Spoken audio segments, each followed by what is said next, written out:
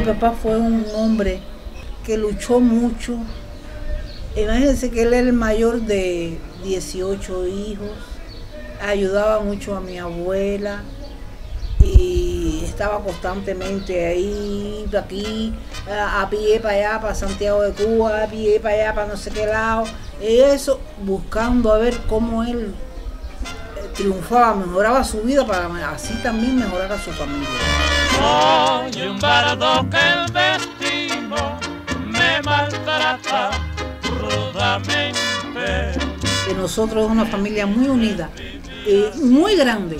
Y donde quiera usted se encuentra en Laja, en Cruce, en Palmira, en Camagüey, en Vertiente, en Morón, dos o tres de la familia de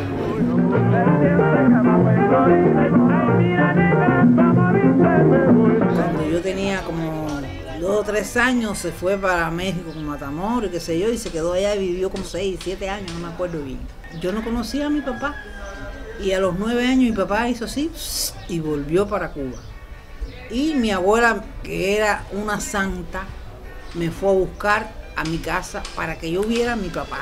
Para que yo conociera a mi papá, porque yo lo conocía por reconticos de periódico que ella me traía y eso.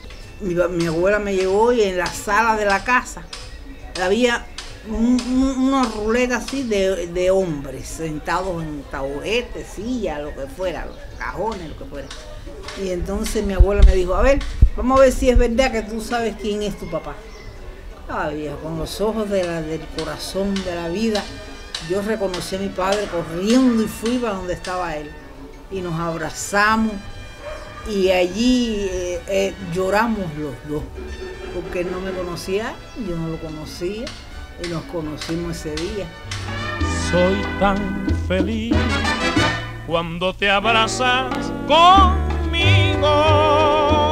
Este proyecto que ustedes están eh, haciendo, retomando el son a nombre de mi padre por la vida y el milagro de mi padre.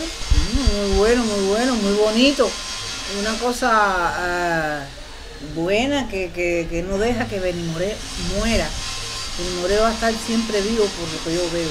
Si así se comportan las cosas, él no va a morir nunca. Yo te recuerdo a ti, Padre, por tu amor, por tu delicadeza.